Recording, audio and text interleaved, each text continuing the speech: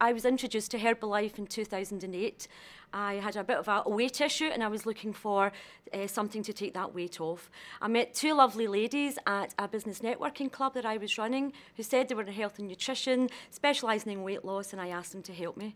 They encouraged me to exercise, to eat healthily, to drink water, all the things that I hadn't been previously doing. And because of them, I actually was able to lose 25 kilos. Um, quite quickly, my family and friends noticed what I was doing and thought, can we get some of that stuff too? So I introduced him to my uh, coach and then she told me all about the, the business and how I could actually help my family and friends lose some weight, shape up, and actually make some money too. I was encouraged to come along to a training event where I saw lots of people who've been doing this business for a long time, who were all making money and who all looked absolutely fabulous. And I thought, well, if they can, why can't I?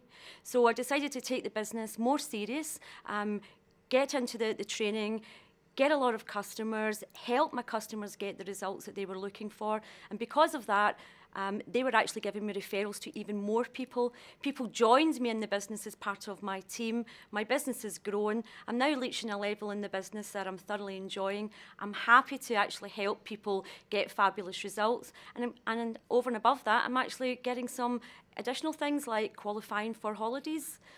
So what I've found is if I help people get great results, if I help people earn some money, then I'm having a fabulous time too.